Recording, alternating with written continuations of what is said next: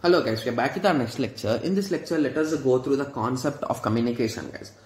Okay? Okay. So communication is nothing but, so in simple words, you can say you are exchanging something, right? So I am communicating with you, I am sharing my knowledge which I have, I have on this subject. So in that way, this is nothing but communication.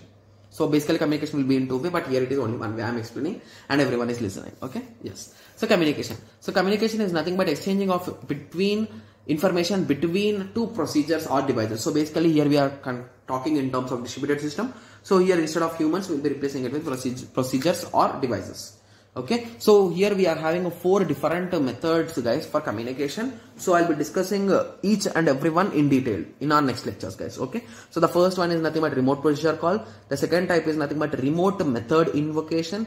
Third one is nothing but message oriented communication. Fourth one is nothing but stream oriented communication okay? So communication is done or passed through OSI layer.